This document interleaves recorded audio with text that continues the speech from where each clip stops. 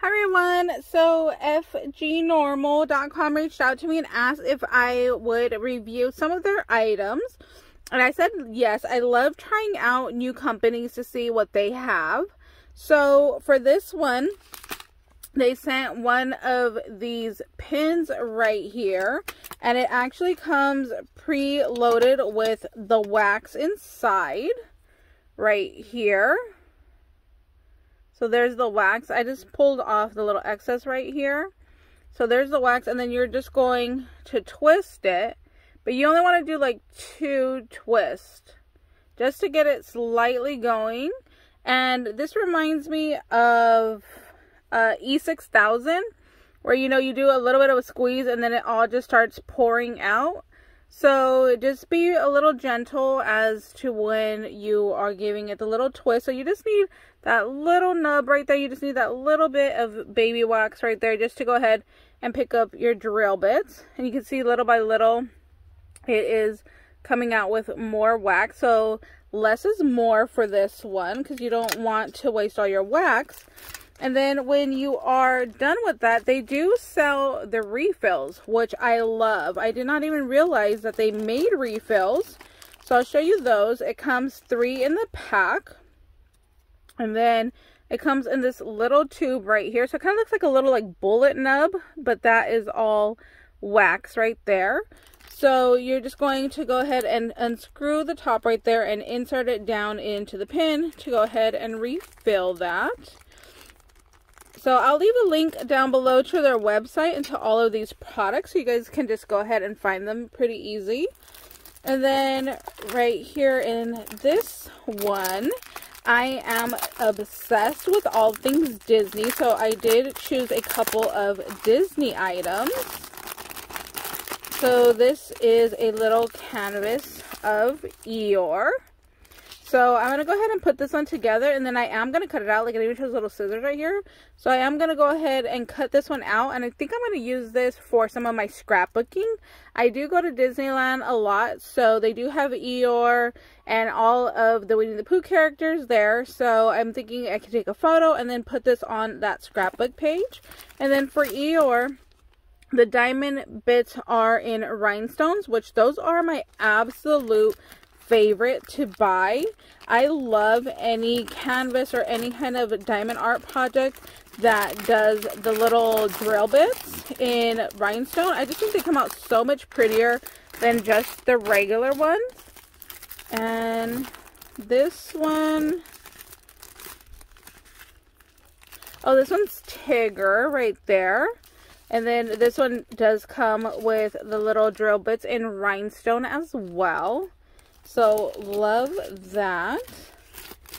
And this one, have you guys seen Little Shop of Horrors? That's what this reminded me of, of the Audrey plant from Little Shop of Horrors. So when I saw this, I was like, I absolutely need that one. And then the drill bits on these are in rhinestones as well, but this one lights up. So if you see right there, I give it a little tap and it lights up in there. I think that is so cool. I love that. And then they have these clear binders, and this is supposed to help you organize all your drill bits. But I'm actually going to use this for like binder mail. So I'm going to cut out my own sheets of paper and then I'm going to put embellishments in here and then send that off. I think that would be so fun to use for binder mail because you'll be able to like see through it. I just think that would be really, really pretty.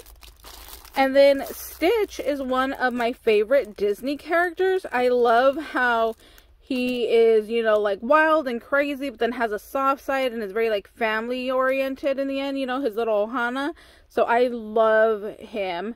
I can totally relate. I think it's amazing. So this is a little canvas bag. So what I'm going to do now is I'm going to put all of these together and then I'll be back to show you guys the completed projects.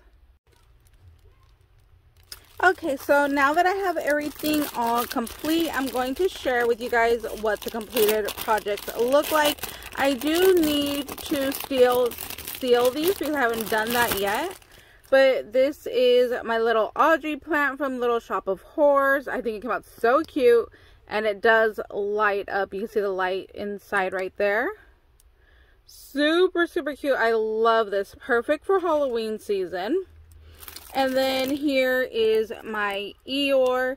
Now on this one, I did change it because for some reason the color they sent was more like a yellowy color and I didn't like it. So I did this peachy color instead. And here is Tigger. Now on the Tigger, his outline was in white and I didn't like that. So I changed it over to black on this one. So that's why it's nice to have those extra little diamond dots in your stash. So if you do purchase one of these and you don't like the colors that they send you, you can always go ahead and change it up. No problem. Just the way that I did. I wanted to make it look more realistic and just to my liking. Like Tigger would have been really cute in white and then his whiskers probably would have popped a little bit more but I was just filling the black, so that's why I changed that.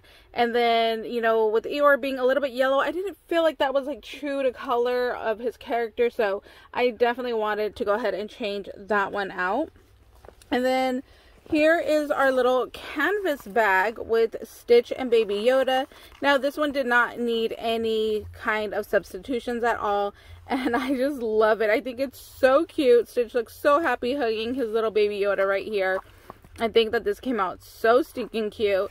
I gotta say they're all pretty much my favorite, but I'm really, really loving my little shop of horrors, you know, man-eating little plant right here. I just think that one is just so, so cute. So, that's it for today. Thank you guys so much for watching. I hope you guys are having a fabulous day, and we'll see you later. Bye, guys.